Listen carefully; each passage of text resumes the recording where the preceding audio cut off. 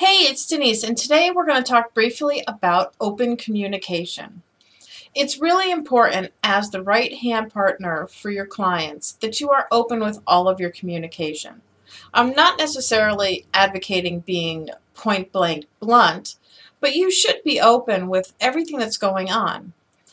If it is our job to be the cheerleaders for our clients, it is also our clients' responsibility to empower us and to motivate us when you have that symbiotic relationship, good things happen. So, for example, I'm going to a conference today. I'm going to be out of the office all day. Hmm, yay for recording early in the morning. So, what I have done is I've just told all of my clients I am going to be out of the office on X date. I usually give them a week's notice that I'm going to be out of the office on that particular day. And why? Not that I'm just, oh, I'm going to the beach. Ugh, burr. But that I'm going to attend something that is important to my business and that I'm not just goofing off for the day. I do actually tell them when I'm going out to get degrade hmm, or heading to the salon or if I'm just going to be attending a meeting and then taking the rest of the day off. I'm upfront about that and that opens that communication pathway.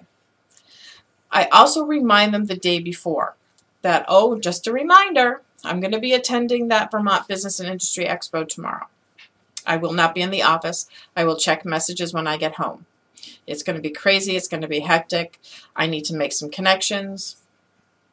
So unless it's a diary emergency, and if that's the case, just text me.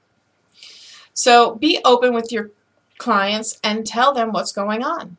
If you are going through a rough patch in your personal life, it is okay almost always to share that information with your client.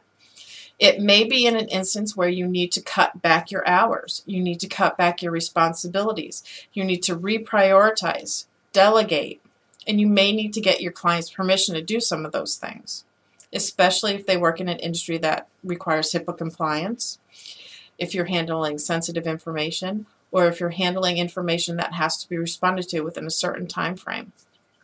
So open up those lines of communication. If your client is not happy with that open communication, then you need to rethink whether they are an ideal client for you. Because at the end of the day, this is about a partnership. It is about making two business entities function as one. And if they are not receptive to the fact that you're going to a business conference for a day, then maybe you really need to think how much they really value you and your services, especially if they're not paying you a rate that you deserve. So that's my tip for the day. See you tomorrow.